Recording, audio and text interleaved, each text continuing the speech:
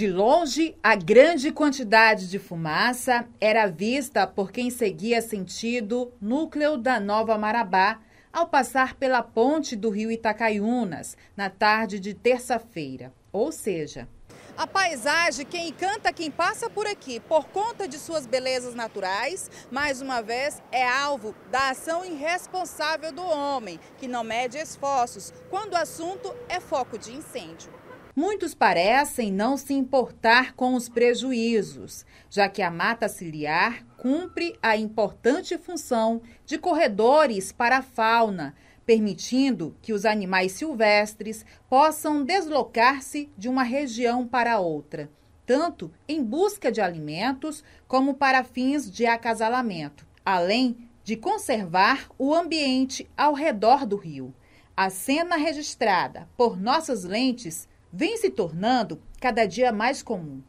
Geralmente, quem ateia fogo foge em seguida, deixando para trás prejuízos ao meio ambiente e também à saúde do próprio ser humano, já que muitos são obrigados a inalar a grande quantidade de fumaça que logo se espalha a diferentes núcleos da cidade.